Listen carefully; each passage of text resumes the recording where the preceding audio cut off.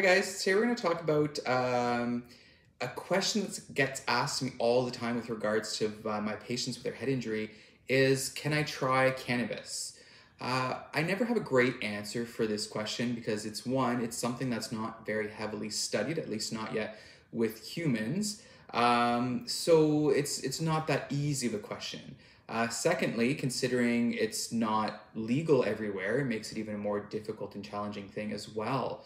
Um, but if you are looking for resources with regards to um, its potential uses for when you do have a head injury, this is a really good article to read. This one was, was actually published in 2023, so it's very recent.